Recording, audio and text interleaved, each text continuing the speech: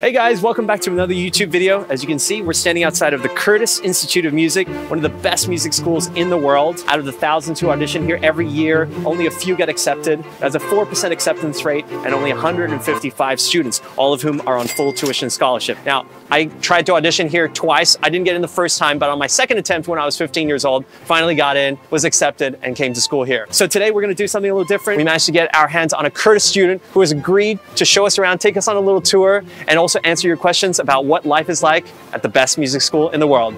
Let's go.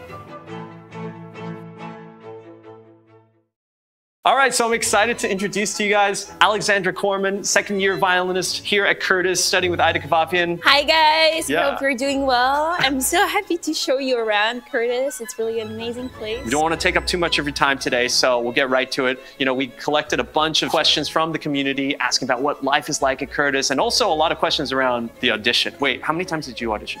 Just once. But then I definitely did many other auditions before that just to be really ready. Out of all the questions that were asked, actually one popped out to me, which was, uh, how's the food like at Curtis? That's a good question.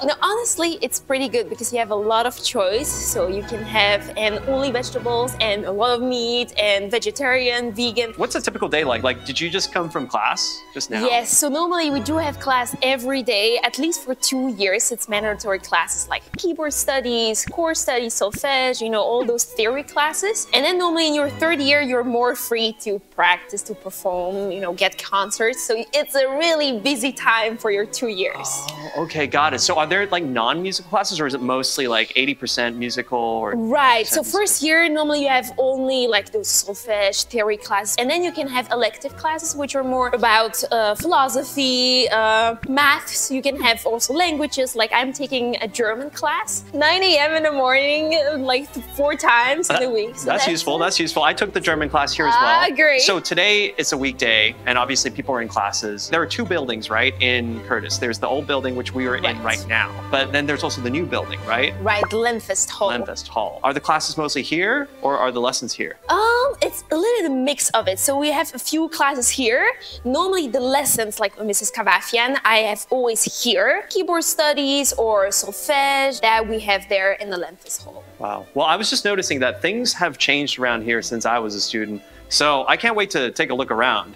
Well, I'm really curious about seeing what is new here. All right, let's let's go let's go take a look. so what we just passed was the main foyer where everybody can meet. Wow, it looks so different from when I was. there. Yeah, it's brand new. Yeah, here. there used to be so much glass everywhere, and now it's like so much more open. I didn't know that. It's Yeah, yeah, amazing. yeah, it's yeah, so- So... this is the studio where we mainly have lessons, for example, with Mrs. Kavafian, my teacher. So violin lessons, also chamber music. Okay. For example, with Mr. Tannenbaum. Can we see a practice room? Definitely. Yeah. All right. All right. Let's go. Let's go. Oh, you, you can open it. I oh. think so. Oh, wow. Let's the try. have key The cards main now. key. Oh wow. Here we go. It's a little loud, so this one we don't really use a lot. I think the building just lost power. They call it this the old building for a reason. This is considered like not a, a large practice room, right? No, it's a little bit smaller than, than usual. Pretty boomy in here. Exactly. So we don't really have classes in here or lessons. My favorite are actually in the Lenfest Hall because they're really dry. You can hear all the details. So that's very good. All the ah. bad things. We're gonna go check out another practice room in here, like a bigger one, Oh, right? yes. Oh my gosh, there's even a Cinderella tower here. Milka Violin Artist Studio. Nice. Yes. I remember practicing in here like a couple times. This one's definitely not as boomy. This is like the harpsichord room. Yes, you can try.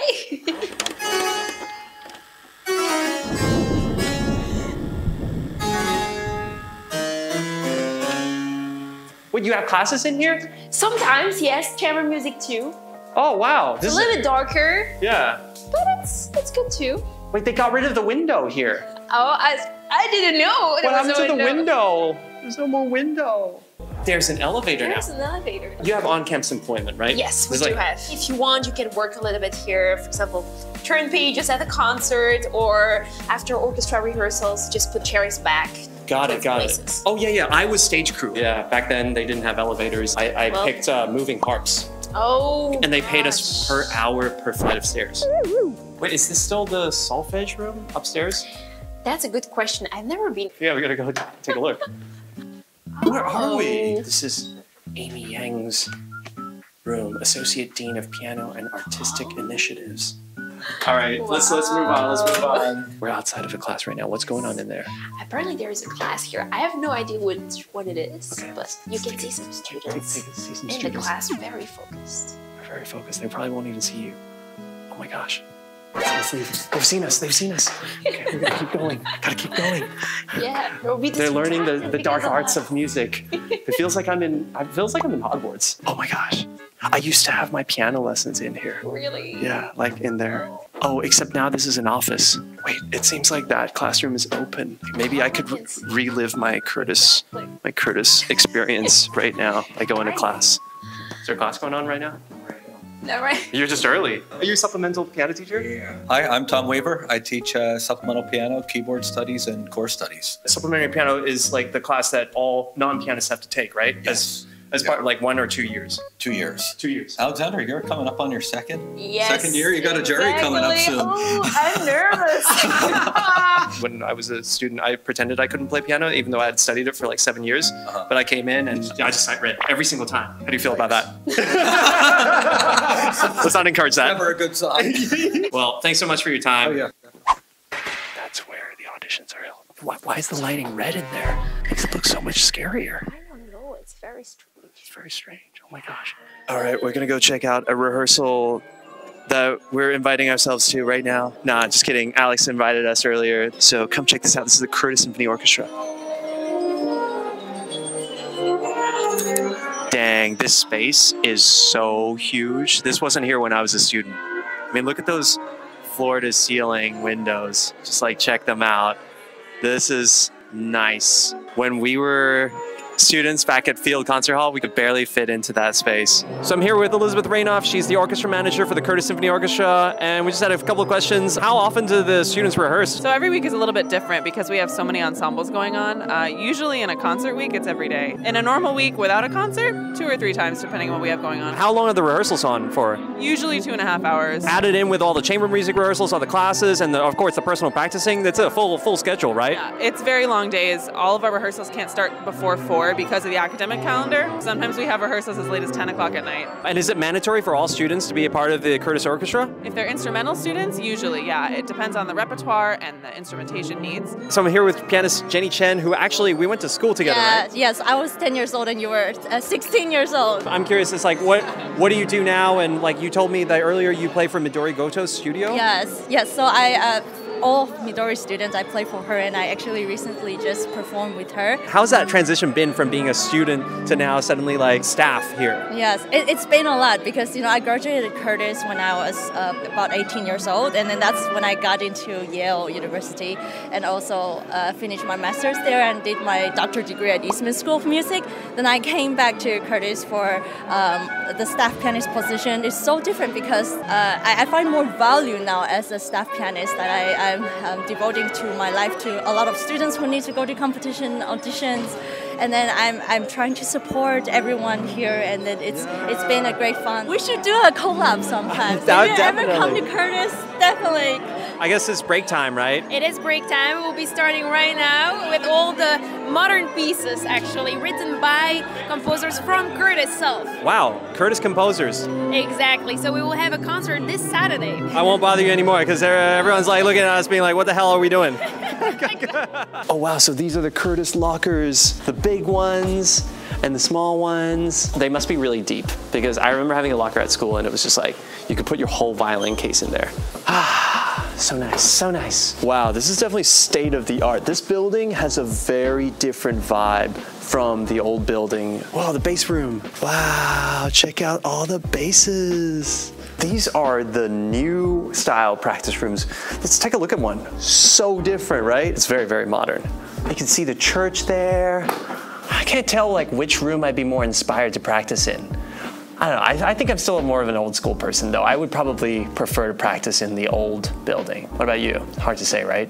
Oh wow, this this room is like a smaller room, no windows. It's more like the J. Wait, I shouldn't say the J word here. It's more like the other music school style. No pressure. No pressure.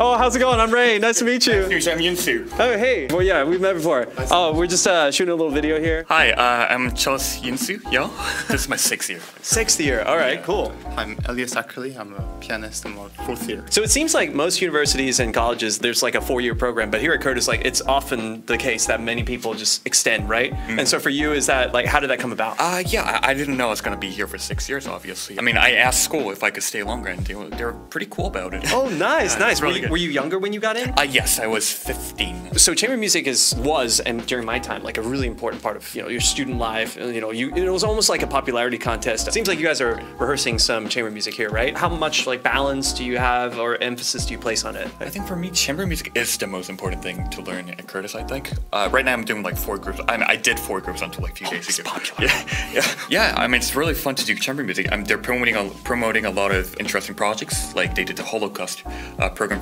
until a few days ago. It just feels like they're just like providing me a good Kind of like a basis. Yes, right? Yeah, yes, Foundation. yes, yes. Oh, that's awesome. Well, you know what they say. Even if you're playing solo or concerto, you always treat it like listening, like you're in chamber music. Right, right. As a pianist, I mean, it's like if you're not doing any chamber music, you're, you're not in orchestra either, practicing by yourself, yeah, right? yeah, I think so. Yeah, I think chamber music is very underrated. Actually, a lot of solo pianists we just practice and we don't do much apart from practicing.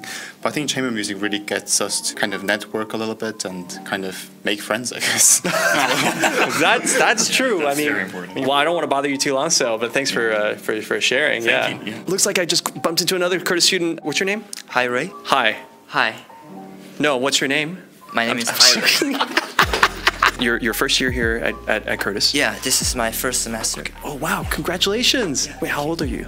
I'm 17. 17. Yeah. Okay. And you just moved here. How are you liking it? I love Philadelphia. I still need to practice my English, but Oh, I that's- think uh, I just come here for four months. What city did you come from? Um, Shanghai. Were you at a music school there? Like, I mean, you would have been very young. Yeah. Yes, very young. Curtis, uh, how is it different from you know the music school that environment that you had in Shanghai? I think just have more opportunity with uh, the best musician in the world to have chance to play and performance. It's I was just talking about chamber music, and so is that different? Like, is there more emphasis on chamber music here than yeah. at, than at home? But I will start my chamber mu- music next semester. Next so, semester? Yeah, I'm okay. really excited. How was the audition like? You know, Oh. for you, did you fly here to take the audition? No, I take the audition at the last year and it's online. I still get very nervous.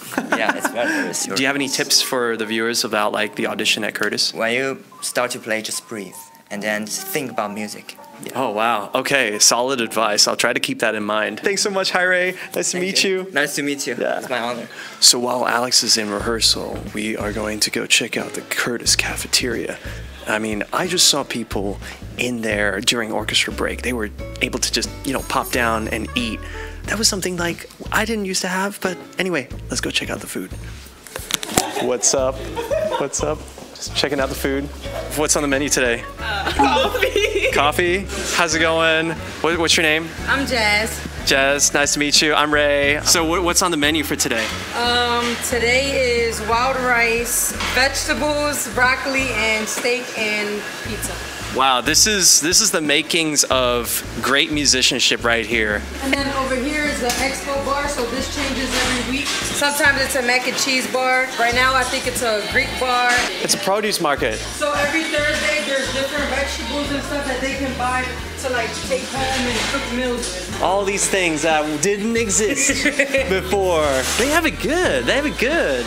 All right, so we've reached this moment in the video where we've seen most of the school. Thank you so much for showing us around. course. And uh, I think that most of us are also very, very curious um, about the audition. Oh, yes. Yeah, right. So we've got a bunch of questions here. Mm-hmm. How is it like? What's the process like? Like for me, you know, back then we could pick our first piece in the first round. Okay. Is that still going on right now? So what was different for me is that I had online audition because it was still COVID times, but still there was a repertoire mandatory. So I think there was one Paganini Caprice, one Bach Sonata, one concerto, like Mozart concerto, and also a romantic concerto, like for example Tchaikovsky, Sibelius, whatever you wanted. So it was basically mandatory repertoire, but you could choose a lot from it. Got it. Got it. Were there still two rounds?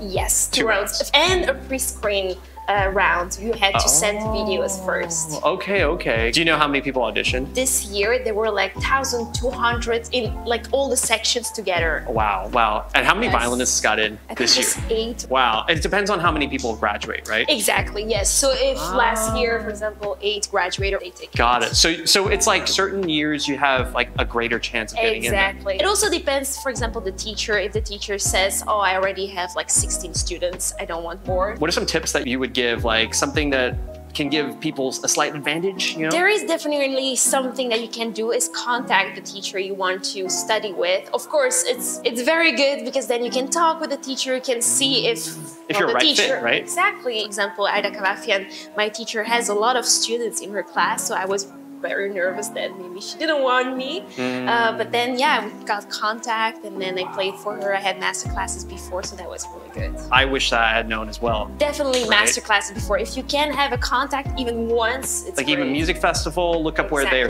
where they're teaching, or like just Right. I mean these days with email, right? It's just so easy. Of course. See, I went and just went all the way from Australia, all the way here. Oh. First year, I, I only audition at one school. That's also another question that some members of their community had is like, is it good to audition only at one school, or is it like sort of this is more of a general audition? Right. But- I think coming from Europe, from Belgium, I was really scared that I wouldn't be taken anywhere in America because I, you know, the level is so high. So I auditioned to five different schools to Manhattan, uh, To Curtis. All right, all right. You, you- you're, you're saying all the ones that you rejected. All right, so like let's just let's just like not not, let's not hurt anyone's feelings here. So it was really important, I think, in the process to, you know, be ready for auditions. Does it help to have an audition before the audition? I think it's really important to play before as much as possible, like run through your pieces. So if you have concerts, that's even better. So you have a public in front of you, and you get mm. nervous. Or just for your family, for your friends, just play through as much as possible and then you're not nervous anymore. Actually, this was a more of a life at Curtis kind of question because I've noticed that you know a lot of things have changed since I've been here. You know, it's gotten a lot brighter. Is there still a bit of competition between students? I think there's definitely, you know, a small competition that personally you feel a little bit because you want to be very good. Am I good enough? Am I, you know, Ah, Curtis? I at That's sort of like a level? pressure that you're you place your exactly. on yourself. I think everybody puts yes on their self. Honestly, it's like a big family here, and that's what I really appreciate in Curtis. Well, anyway, thank you so much for spending your time with us today, away from your practicing. Speaking of practicing, I feel like I hear somebody else practicing. Can we like go check in on someone Oh, else can, practicing? definitely. Like, oh, let's go check it let's out. Let's go check it out. All Let's right, see. bust in on a person's practice room. You know, this is the room that I used to like Yes. have my lessons in. right? Really? You have your lessons. I too. still have yes. It's actually someone practicing. I let's, let's go in. Let's go someone check it out. Hey, this is the practice police. You have to stop now. Stop now. Putting your hands up in the air. All right, my hands are up. it's just you. Well, since you're already here, let me show you around my opulent practice room today. So this was the space where I basically grew up in, where I had my first lessons at Curtis, to coachings, to of course personal practice sessions. You could say that this room is probably where I improved the most as a musician. Now, what makes great progress, you might ask? Some say it's the teachers. I say it's a great learning environment. And that's what the Tonic Music app is. When you are part of a community where you see others practicing and working hard, it can really inspire you to make your progress so much more fun and enjoyable and faster too. So join Tonic today. Just like Curtis, it's free, only a lot easier to get in. I can't wait to cheer you on in your practice rooms.